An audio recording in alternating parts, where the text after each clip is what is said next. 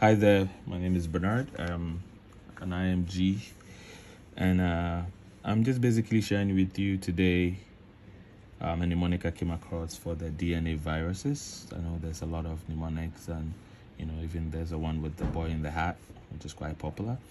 Um, but I came across this one I wanted to share with you. I think it's pretty easy. Um, so let's jump into it. So basically, um, this is how I try to remember the DNA viruses. Uh, so when it comes to the viruses, I know there are like three key things I need to know about the viruses. So the capsid, then um, the shape of the genome, so the shape of the capsid, the shape of the genome, and also uh, if it's enveloped or non-enveloped, which we'll call naked okay. So these are the three key things i want to remember about uh, the viruses. Um, so now when it comes to the shape of the capsid i know can be either icosahedral so icosahedral or it can be helical okay? Now with this also helps me to remember one thing. Uh, most of the icosahedral shape are positive sense and the helical shaped capsid are negative sense. Okay.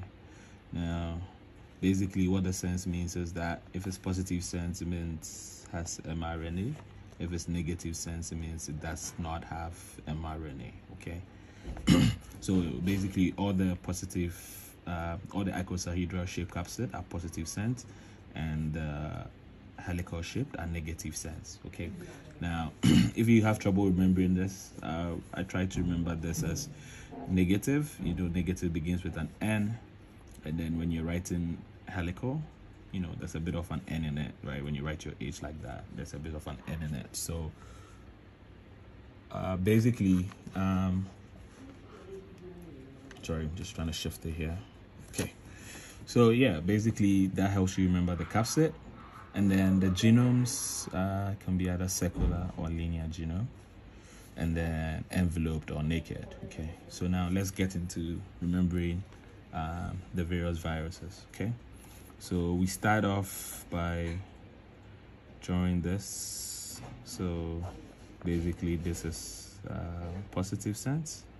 Remember we said positive sense are icosahedral and then negative sense okay? They are helical um, so once we are done drawing um, the whole picture we would basically have um, a fair idea of what to do and especially the a few exceptions to help you remember.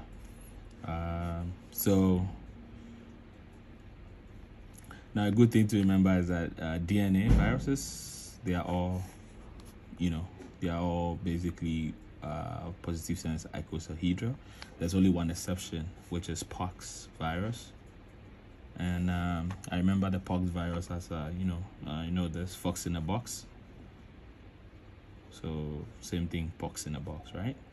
So basically, the pox has a very complex shape. So that is why um, you know, it doesn't fit into either being icosahedral or helical. So it's just complex shape. Okay so that's it so you know in when we come to dna viruses you can just forget about you know um, negative sense or helical shape you know because all of them are positive okay so now that being said we break it down again we have the naked viruses and then we have the enveloped viruses now in drawing this breakdown, one thing I also have to remember is that, you know, we're all born naked. So, I mean, naked always comes first and then envelope comes first. So, naked means you basically don't have anything covering it.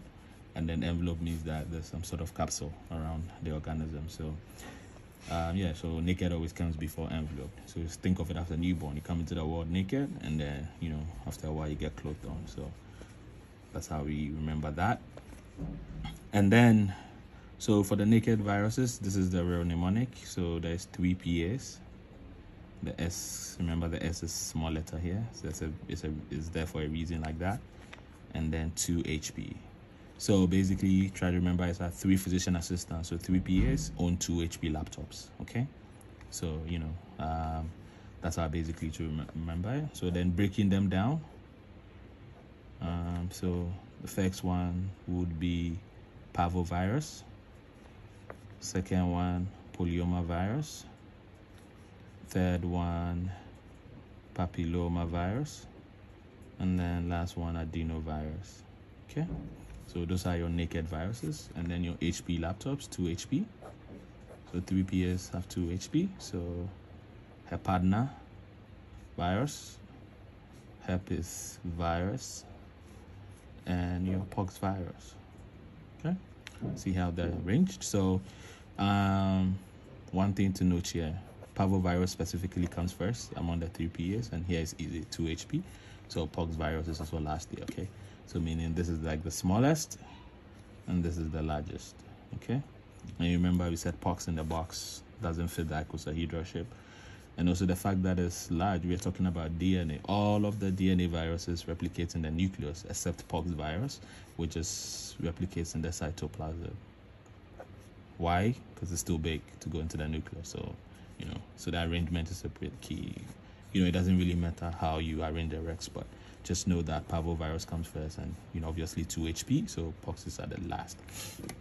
Um, and also this is smallest. Parvovirus is the smallest so um, all viruses are double stranded except you know parvovirus which is a single stranded dna okay so that also will probably help you remember that. Um so now you know breaking them down you know uh, parvovirus so uh, your polyoma viruses are your bkjc virus papilloma virus hpv adenovirus you know single virus, HBV, herpes virus, you know, your herpes virus, CMV. You know, I'm not trying to list all the viruses, but I mean, you know, you can find them out. So your CMV, your herpes, your varicella, which is a chickenpox. You note that chickenpox is herpes, not pox. Okay. And then your HSV1, HSV2, and the likes. And then your pox virus is smallpox, cowpox, and uh, molluscum contagiosum. So, um, yeah, so basically with this, you know, you know about 90% of um, the questions that will probably pop up when it comes to DNA viruses. So, um, like I said earlier on, we also need to know the genome, okay? So we've basically, we know the capsid, we know the genome, uh, we know the envelope and naked, and now we just need to know the genome. So which ones are circular and which one are linear? So this is simple. All the DNA viruses that end in A are sequential. Okay, so from the naked portion, we have parvovirus doesn't end in A, so polyoma ends in A, papilloma ends in A, so sequential hepadna, hepadna, so also end in A. So you have three of them that end in uh, A, so they are all sequential, and obviously the rest will be what linear. And then one thing you can also remember is that you know you can just remember AC, your air condition or something, you know. So that will help you also keep the um, the you know the association of A between the C. So AC, you know, all the DNA viruses that end in A are sequential, have the sequential genome. Um, so yeah, um, this I believe if you, you know go out go through it a few times, um, you would know it um, off head. So like I said, three key things: know the capsid, know the genome, know if it's envelope and naked, icosahedra, helical, circular, and then um, you know when it comes to the naked, you always know we arrange it like this: naked comes before envelope. You're born naked before you know you started putting on clothes, and then three PA, so three physician assistant on two HP laptops, so three PAs and two HP. So the NCS sim is you know small for a reason, doesn't really appear. Okay, so um, this will be all that for the DNA viruses. Uh, I might look and do an RNA viruses. I think that's a bit cumbersome, but um, you know, check out my next video for that as well. Um, you know, if you have any questions, you know, you can put it in the comment section below, and do not forget to subscribe to the channel. Um, see you next time. Have a good day.